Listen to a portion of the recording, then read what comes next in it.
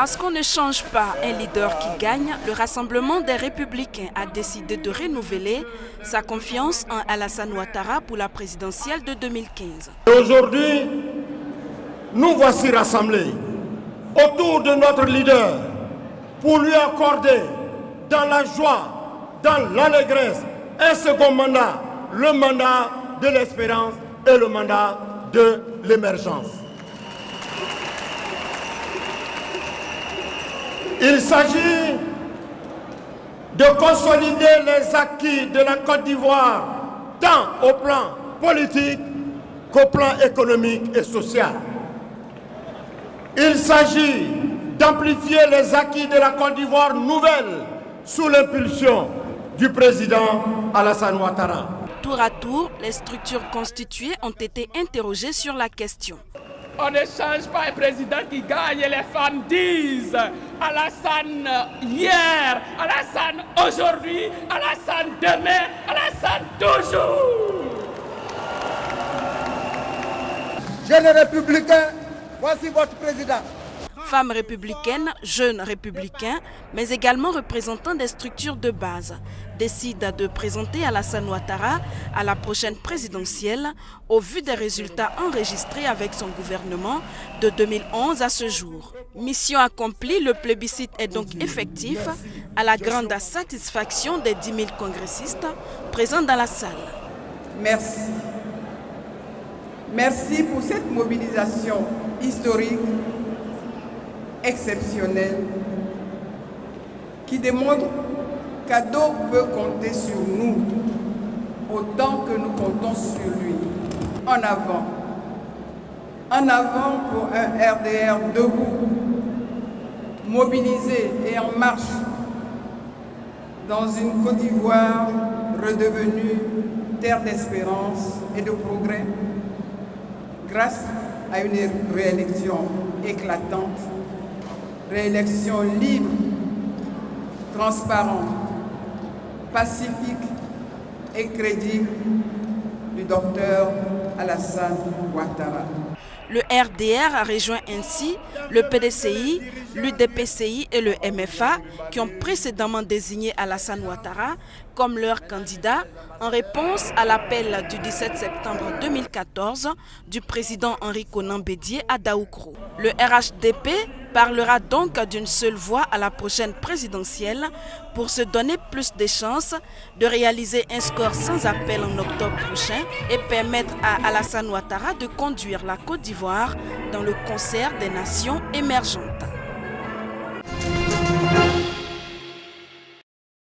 Je ne gaspille pas l'eau du robinet de mon école. C'est le message donné durant un mois dans plusieurs établissements scolaires et universitaires de Côte d'Ivoire. Sur plus de 500 établissements en observation, trois seulement ont été récompensés pour leur discipline dans la bonne gestion de l'eau. Il s'agit du groupe scolaire Les Perles des Deux Plateaux, du lycée Djidji Amondi d'Adjamé et de l'Institut national polytechnique Oufouboyin de Yamsokro. Au terme de cette campagne de sensibilisation sur la pérennisation de l'eau, plusieurs recommandations ont été faites, notamment la mise en place d'un principe de relevé régulier de compteurs d'eau ainsi que le entretien. Des actions qui permettront sans doute à l'État de Côte d'Ivoire d'accroître ses ressources financières et préserver l'eau, source de vie et capital pour les générations futures.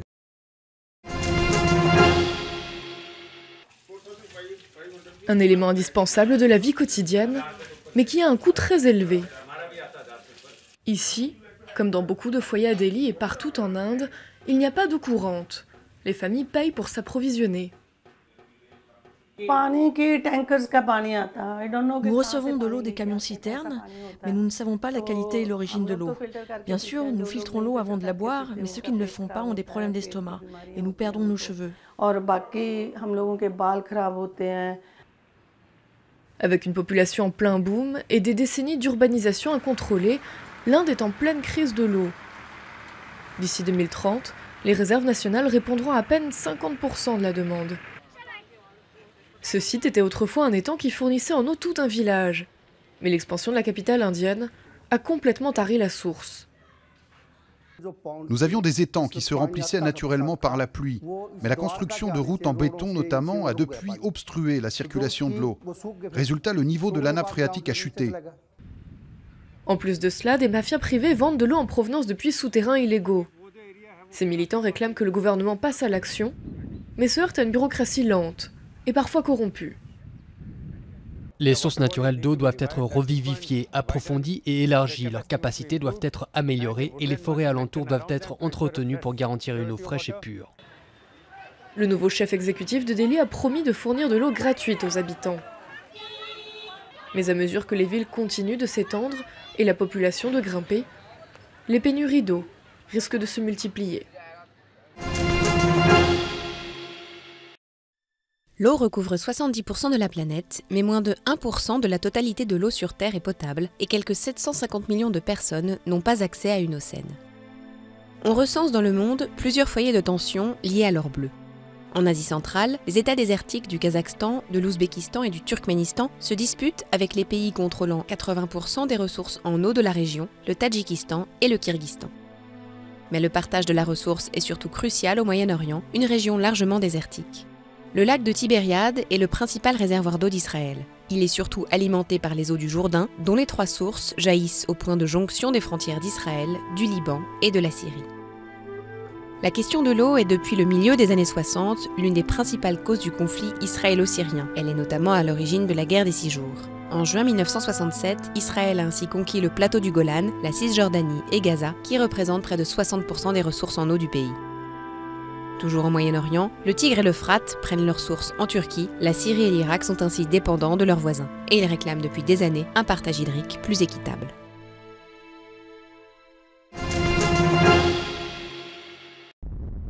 Voilà tout ce qui reste des paysages verdoyants du Hamoun. Dans le sud-est iranien, cette région frontalière avec l'Afghanistan était il y a 15 ans la septième zone humide du monde, mais aujourd'hui ce sont des paysages désertiques à perte de vue.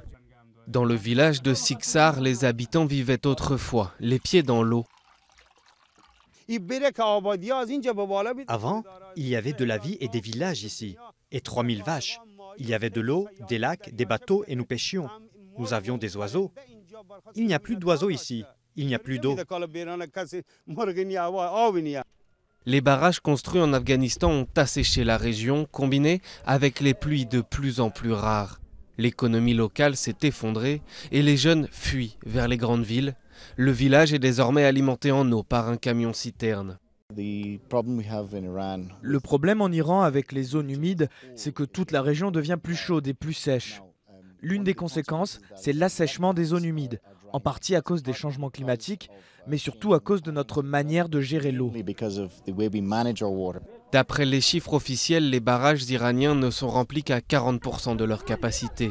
Et neuf grandes villes, dont Téhéran, sont menacées par des restrictions d'eau.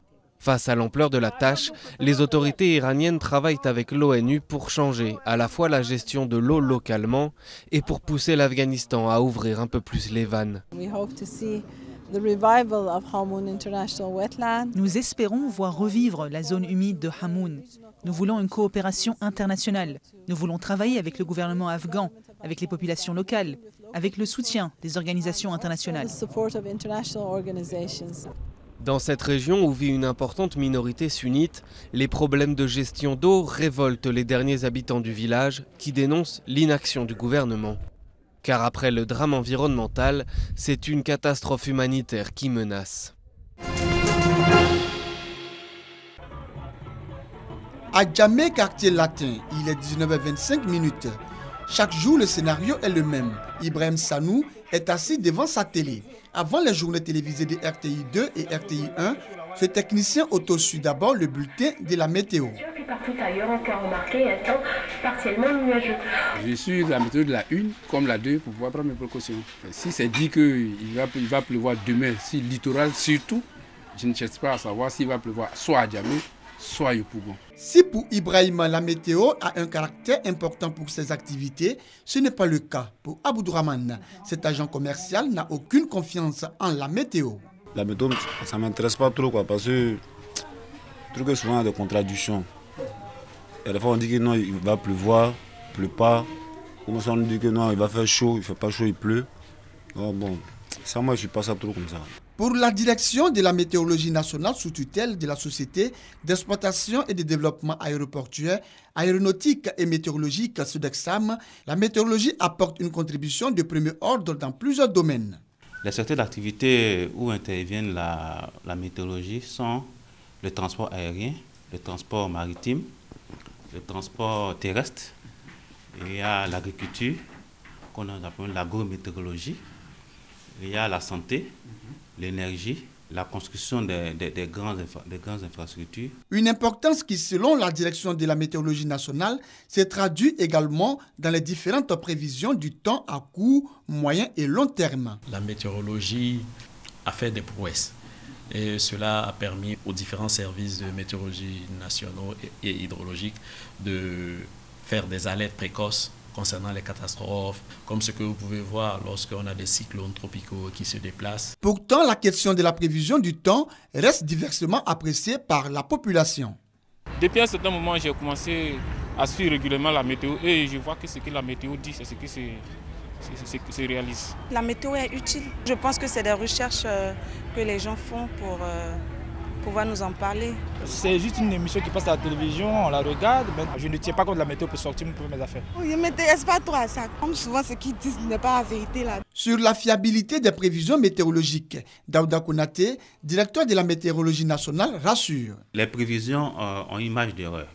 Effectivement, il y a d'abord ce fait-là. Alors nous, nous attelons, nous, au service de la nationale de météorologie, à réduire au minimum cette marge d'erreur-là avec les équipements que nous avons et les techniciens que nous avons il peut arriver qu'il pleuve dans une commune et pas dans une autre commune. Alors, ce qui ne veut pas dire qu'il n'a pas plu. Daouda Konate exhorte donc les populations à se familiariser à la météorologie. Nous encourageons fortement les populations à, suivre la météorologie, les, les prévisions de météorologie avant toute activité pour que nous puissions leur apporter une assistance continue pour leurs pollutions et pour leurs activités. En somme, le service de la météorologie nationale assure la sécurité des biens et des personnes. La météorologie doit donc être, selon ces services, au centre de toute activité.